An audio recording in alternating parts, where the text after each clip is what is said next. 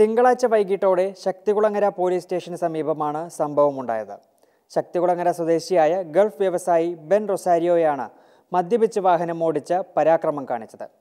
മദ്യലഹരിയിൽ വാഹനം ഓടിക്കുകയായിരുന്ന Ben Rosario എതിരെ വന്ന ബൈക്ക് യാത്രികനെ ഇടിച്ചിട്ടു.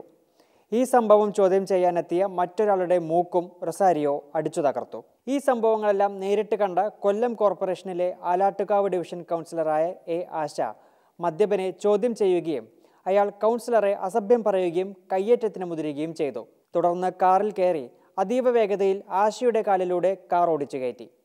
സംഭവത്തിൽ ഇടപെടാൻ വന്ന സുനിൽകുമാർ എന്ന വ്യക്തിയെയും മദ്യപൻ ഇടിച്ചു തെറിപ്പിക്കുകയുണ്ടായി. സംഭവത്തിൽ പരുക്കേറ്റ കൗൺസിലറായ ആശയെ ജില്ലാ ആശുപത്രിയിൽ പ്രവേശിപ്പിച്ചിരിക്കുകയാണ്.